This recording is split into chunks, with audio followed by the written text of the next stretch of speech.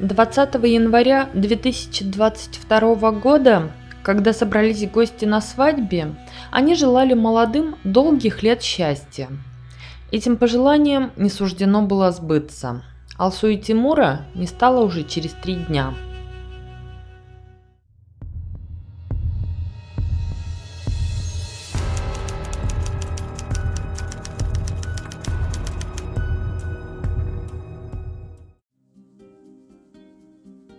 Меликес – небольшое село в 20 километрах от набережных Челнов. Тихое и спокойное место, где живет около тысячи человек. Недостроенная церквушка, двухэтажная сельская школа на 200 человек, дом культуры – вот и все достопримечательности. Большая часть населения – крещенные татары, или, как их тут еще называют, кряшины – Тимур с родителями и братом переехали в Меликес из набережных Челнов много лет назад. Начали строить свой дом тут. По отзывам соседей, это была очень трудолюбивая семья. Когда строились, кирпичи таскали все, и взрослые, и мальчишки помогали. В деревне так принято. Детей с детства приучают к труду и помощи старшим. Еще школьником Тимур во время летних каникул подрабатывал на ферме. После школы армия, вернулся и стал трудиться каменщиком вместе с отцом. Трагедия в дом Прохоровых пришла, когда сыновья еще учились в старших классах. Заболела мама. Женщина сгорела от рака за несколько месяцев. Семья тяжело переживала утрату, но когда отец женился во второй раз, мальчишки тепло встретили мачеху. Судьба Алсу чем-то похожа.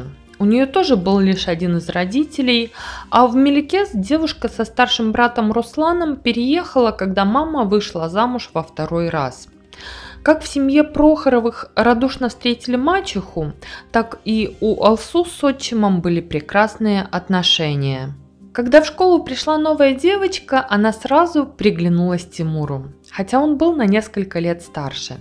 Я уже рассказывала историю Ульяны Мальцевой и Виталия Тимченко, и тогда многим не понравилось мое замечание о разнице в возрасте.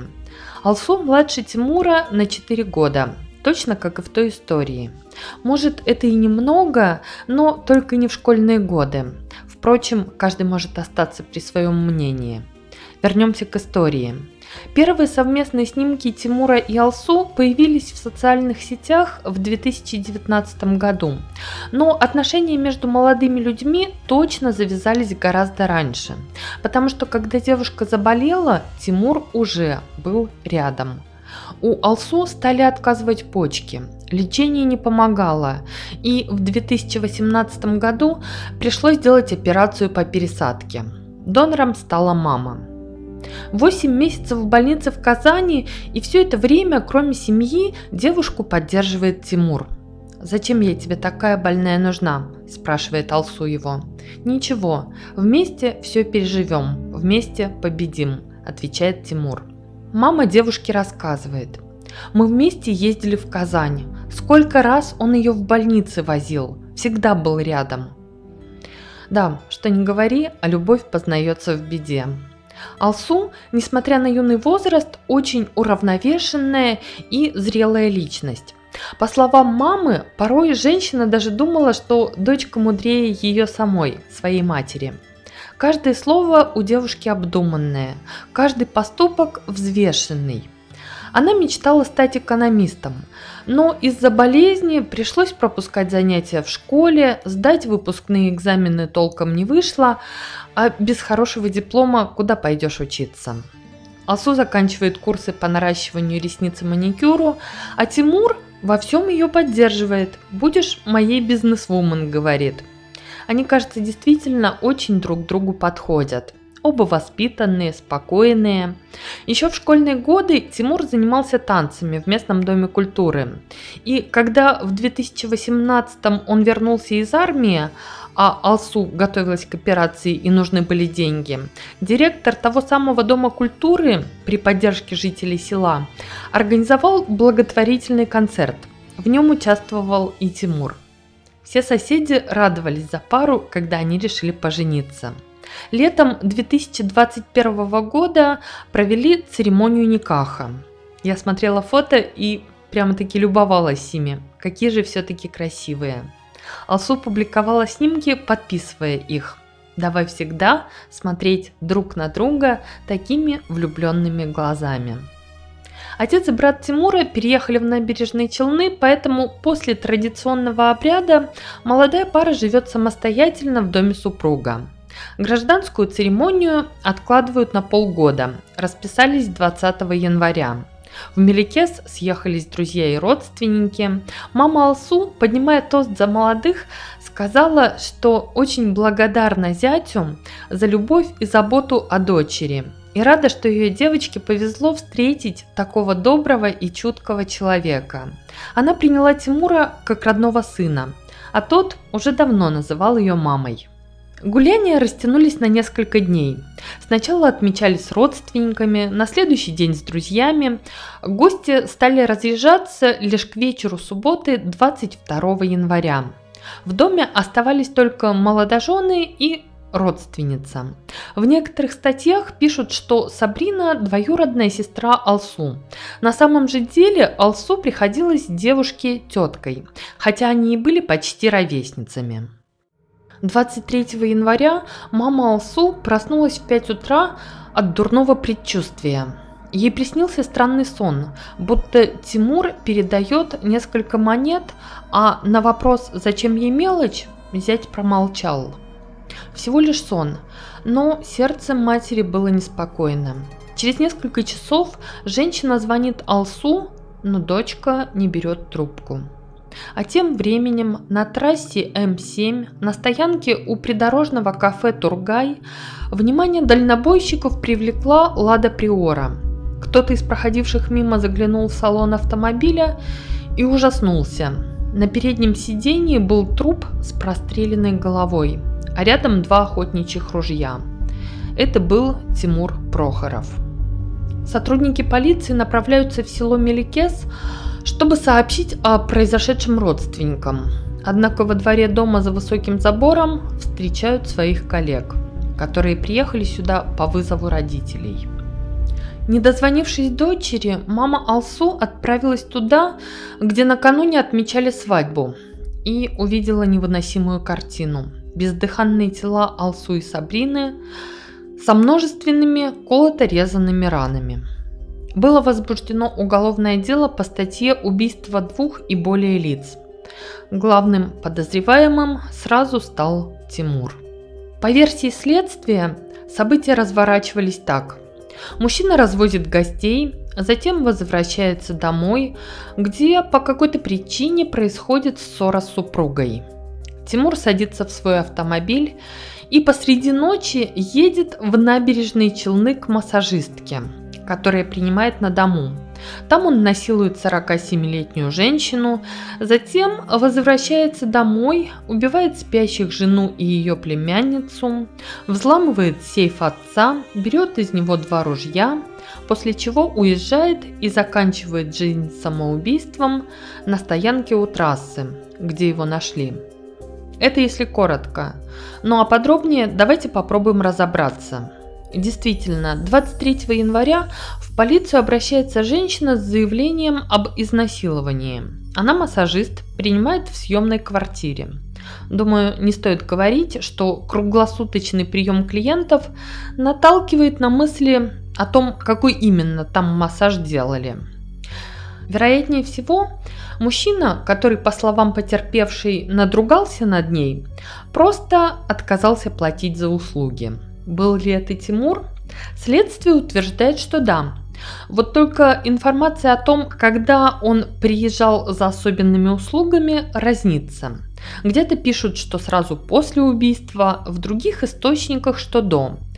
А ведь если допустить, что это действительно был Тимур, то время очень важно, чтобы понимать его мотивацию. Но давайте вернемся к этому моменту чуть позже. Мог ли хороший мальчик Тимур вообще пойти на такой чудовищный поступок? В сухих отчетах Следственного комитета говорится, что убийство произошло на почве личных неприязненных отношений в состоянии алкогольного или наркотического опьянения. Никаких результатов экспертиз, подтверждающих наличие тех самых запрещенных веществ в крови мужчины, опубликовано не было. Однако в сети пользователи стали выдвигать свои предположения. Несколькими годами ранее Тимур потерял мать, которая ушла от рака. В доме могли остаться какие-то сильнодействующие обезболивающие препараты, побочный эффект от которых может быть разным. Кто-то писал, что один из таких препаратов часто употребляется людьми с зависимостями.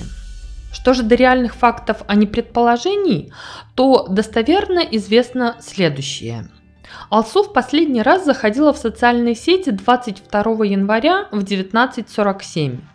Кому-то это показалось странным, потому что в доме в это время еще были гости, мол, почему она сидела в социальных сетях, а не праздновала. Я, если честно, не вижу в этом ничего удивительного. Может, кому-то фото отправляла или пришло уведомление о новом сообщении, мало ли. Гости разошлись поздно. Уже после полуночи девушка пишет подруге ушел провожать и что-то пропал.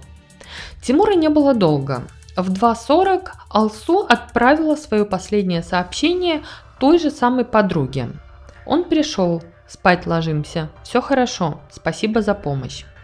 Сложно сказать, о какой помощи идет речь. Может, Анна помогала как-то Алсу разыскать супруга, кому-то звонила из знакомых. А может, речь об организации праздника.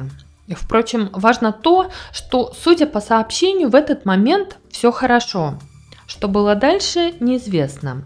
Больше девушка ни в социальные сети не заходила, ни на утренние звонки матери она уже не отвечала. На странице в социальной сети Тимура же значится последний визит 23 января в 7.03 утра. По версии следствия, к этому моменту обеих девушек в живых уже не было. Можно, конечно, предположить, что посреди ночи кто-то ворвался в дом, убил девушек, насильно увез Тимура, а потом застрелил его в машине. Похититель мог и в телефон парня заходить, чтобы что-то там посмотреть или удалить из него. Но видеозаписи, изъятые с камер наблюдения, установленных на соседнем доме, показали, что после возвращения Тимура в ту ночь к дому больше не подъезжали автомобили, и во двор никто не заходил. Сам же Прохоров, опять-таки судя по записям, утром сел в свою машину и уехал. Полиция больше не искала преступника. Для следствия было предельно ясно, кто совершил убийство. В качестве мотива рассматривалась ревность. Однако с этим не могли согласиться ни родственники, ни знакомые пары. Соседка, знавшая Тимура с детства, рассказывает. Жили они вместе около года до того, как расписались. Ни ссор, ни конфликтов я не видела. Не кричали, не ругались никогда. Музыка, да, бывала, громко играла. Но это же молодежь. В эти дни вот тоже шумели, праздновали. Родственник же Тимура признался, что, конечно, ругались они иногда. Но не больше, чем любая другая пара. Он хороший парень был, рассказывает мужчина. Не буду говорить, что конфликтов не было, они в любой семье есть, но чтобы такое сотворил, нет, никогда. Даже руку никогда не поднял бы. Это просто бред. Чтоб не разбираться, сейчас все повесят на него и все, дело закрыто. И добрых слов о Тимуре много. Все повторяли, что не верят в его вину. Не только родственники и друзья парня, но и родня Алсу. Камера не показывает выезд из ворот, крыльцо. Она направлена на дорогу, говорит мама девушки. Там не может быть видно, как Тимур выходит из дома и один ли он. Судя по такому заявлению, ту самую запись, на которую ссылались полицейские, не только не обнародовали, но не показали даже родителям. Я уверена на сто процентов, продолжает женщина, что это преступление совершил не Тимур. Это было мое желание похоронить их вместе, потому что они были неразлучны. Их отношения развивались на моих глазах. Я же почти каждый день к ним ходила, звонила, писала, всегда спрашивала дочку, все ли у них хорошо. Она всегда отвечала, что все хорошо, что Тимур ее обожает и относится с уважением. Мой муж тоже считает, что это не может быть Тимур. Они же понимали друг друга с полуслова, с одного взгляда. Проводить Алсу и Тимура в последний путь, кажется, пришло все село.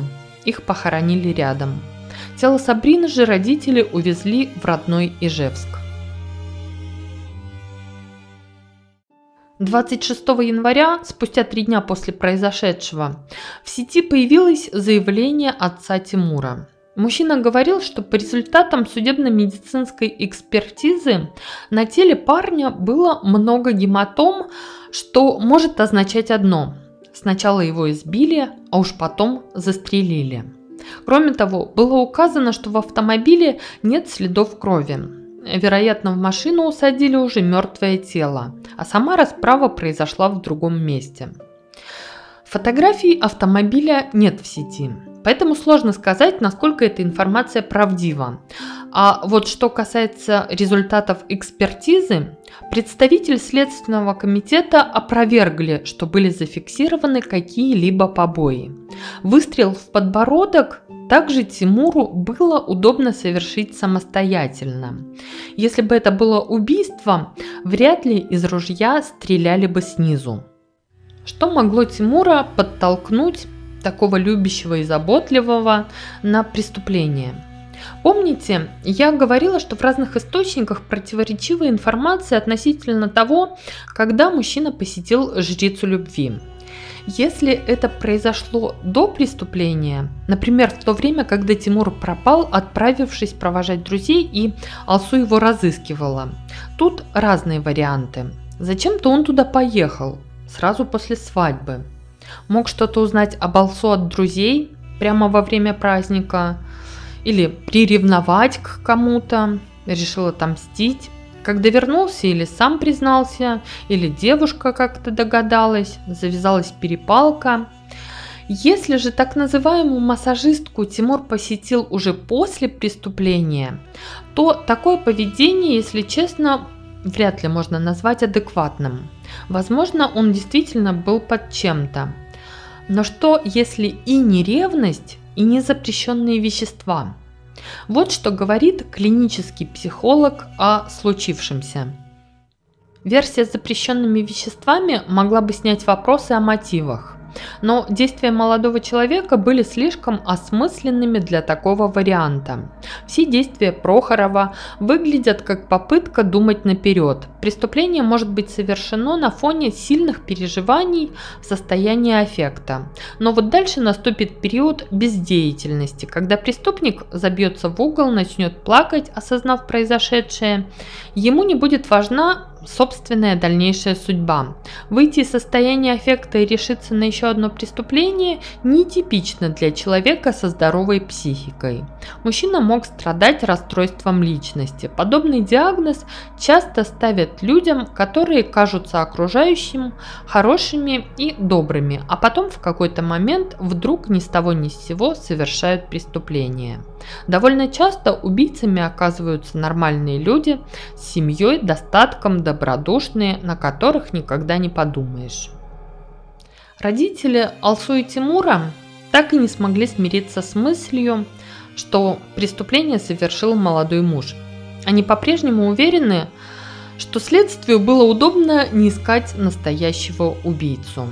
Как бы то ни было, в июне, спустя полгода после трагедии, расследование было прекращено из-за смерти главного и единственного подозреваемого Тимура Прохорова.